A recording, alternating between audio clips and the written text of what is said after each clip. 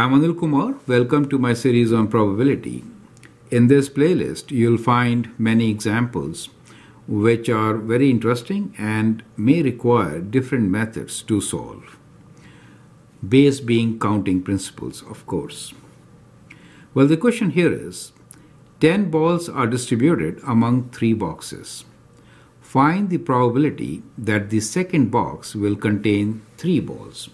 So in this particular case, imagine that we have these three boxes. And we need to find the probability that the second box has three balls. Right, so that is the question for you. You can always pause the video, answer the question, and then look into my suggestions. now, since we have 10 balls and 3 boxes, what are the total number of combinations? So we can write total number of ways is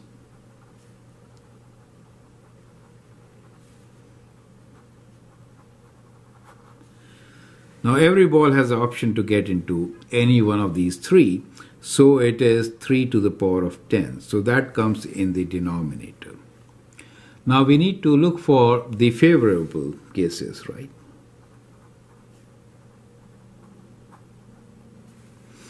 We want three balls in the center box. That is what we need.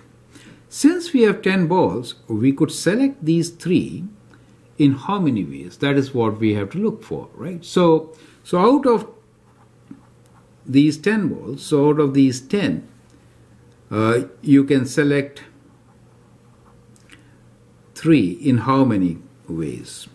So that is because they are not distinct, right? Any 3 can come, it is 10C3. So these are the number of ways when you select 3 out of 10 for the second box, right? The rest can go into the other two boxes. So basically, now we have selected 3, that means 10 minus 3, which is 7. So 7 balls can go in the other two boxes. Clear?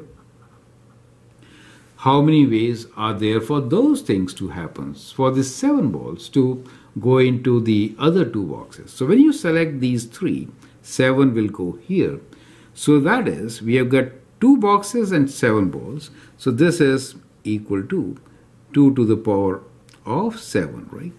So the total favorable cases, let's say our event is A, so the favorable cases for us will be 10C3 times 2 to the power of 7. Okay? And total number of ways are 3 to the power of 10 and therefore we get the probability as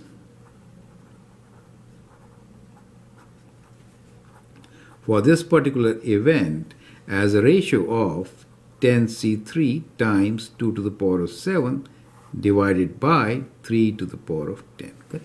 So that is how you could actually find the solution for this question, correct? So that's your answer. Well, let's see the number also. So we have 10 C3 times 2 to the power of 7